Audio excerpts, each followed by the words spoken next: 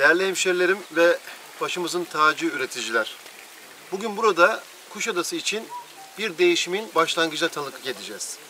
Bugüne kadar hep turizmle anılmış olan Kuşadası bundan sonra aynı zamanda tarımla da, üretimle de kendi kendine yeten bir kent olarak da anılmaya başlanacak. İşte bu amaçla günümüze destek, geleceğe yatırım olacak yeni projemizi hayata geçiriyoruz.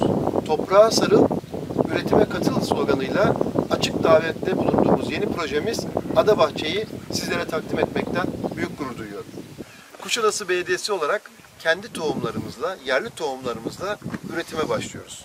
Bugün bu görmüş olduğumuz ve kendi fidelerimizi yetiştirmeyi amaçladığımız arazide ekimlerimizi yaptık.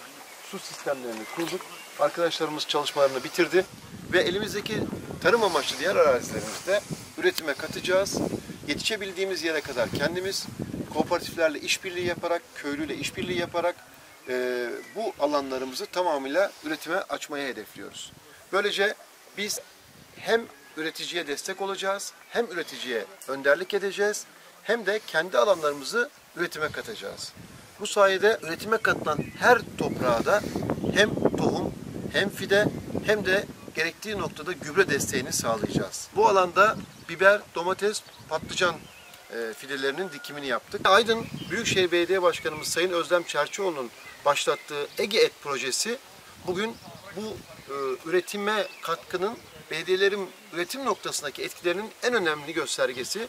Bugün Ege Et iki ilde 13 şubeyle hizmet veriyor.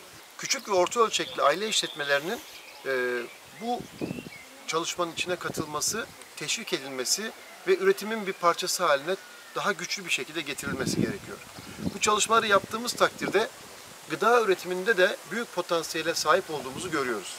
Dünyada tarımsal üretimin %56'sını küçük ve orta ölçekli üreticiler sağlıyor. Yine dünyada gıda üretimini %85'ini küçük ve orta ölçek üreticiler sağlıyor.